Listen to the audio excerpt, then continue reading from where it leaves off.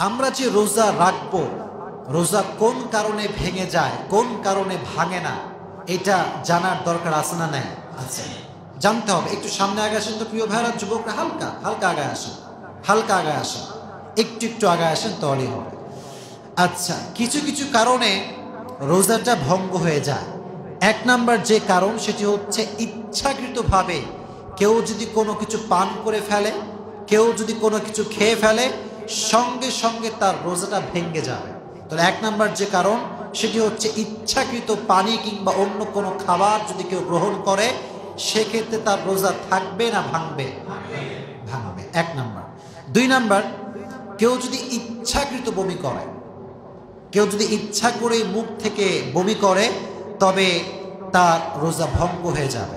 আর যদি কেউ অনিচ্ছাকৃত কারণে বমি বের বের করে ফেলে যেমন রসুল করিম সাল আলী ওয়াসাল্লাম বলেছেন, যারা অনিচ্ছাকৃত বমি করে, তাকে সিয়াম কাজা করতে হবে না। অর্থাৎ আপনি বমি করতে চাচ্ছেন না, তবুও আপনার বমি বের হয়ে গিয়েছে। সেক্ষেত্রে হাদিসে এসেছে, আপনার রোজা কাজা করতে হবে না।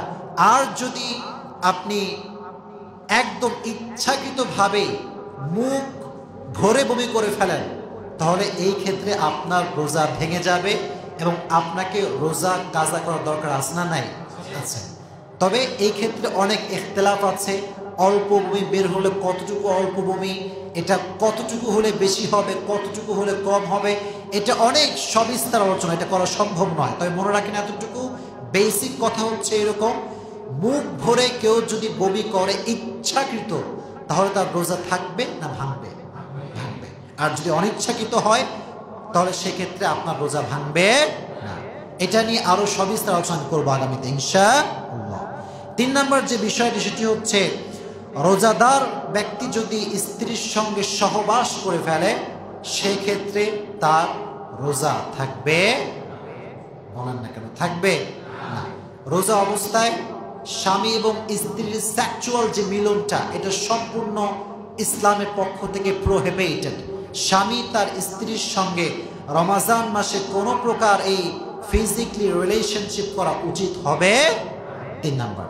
চার নাম্বার, পানাহার আমরা করি, এটা এক জিনিস, অথবা শরীরে আমরা পুশ করে খাবার ঢোকাই, এটাও কিন্তু খাবার খাওয়ার মতোই, ঠিক কিনা আপনি দেখবেন মাঝে মাঝে মেডিকেলে কিছু কিছু পেশেন্ট এমন পর্যায়ে চলে যায় যে তারা মুখ দিয়ে খাবার যে অ্যাবিলিটি এটা তারা হারিয়ে ফেলে। ফলে তাদেরকে ইঞ্জেকশনের মাধ্যমে, বিভিন্ন নলের মাধ্যমে খাবার দেওয়া হয়। সো এইভাবে যদি আপনার শরীরে পুশ করে কোনো প্রকার কোনো খাদ্য ঢোকানো হয়, সেই ক্ষেত্রে আপনার রোজা থাকবে চার নাম্বার। পাঁচ নাম্বার বিষয় হচ্ছে, মহিলাদের হায়েজ বা নেফাস যদি রোজা অবস্থায় চলে আসে, সেক্ষেত্রে মহিলাদের রোজাও ভেঙে যাবে। কথাটা বুঝতে পেরেছেন প্রিয় ভাইরা একজন মেয়ে মনে করেন সকাল থেকে সে রোজা আছে। হঠাৎ করে দুপুরবেলা এসেই তার যে মিনিস্ট্রেশনাল যে পিরিয়ডটা আছে, মাসিক, এটা জোহরের পরে হয়ে গিয়েছে। সেই ক্ষেত্রে তার রোজা জোহরেই ভেঙে যাবে। অর্থাৎ হায়েজ এবং নেফাস আসলে রোজা আপন অবস্থায় বাকি থাকে পাঁচ নম্বর। ছয় নম্বর যে বিষয়টি, সেটি হচ্ছে, বৃষ্টি হচ্ছে বাহিরে মনে করেন। আপনি বৃষ্টির মাঝে গিয়ে দাঁড়ালেন, দাঁড়িয়ে হা করে দাঁড়ায় আছেন। বৃষ্টির পানি মুখে পড়ল। আপনি গিলেও খাইলেন। রোজা থাকবে? খুবই সাবধান। একটু সাবধানে চলবেন। খালি বৃষ্টির মধ্যে রোজা অবস্থায় মুখ হা করে বাঙালি কয়েকটা আছে, আবুল টাইপের, যেখানে সেখানে হা। যেখানে যাই হা করে বসে থাকে।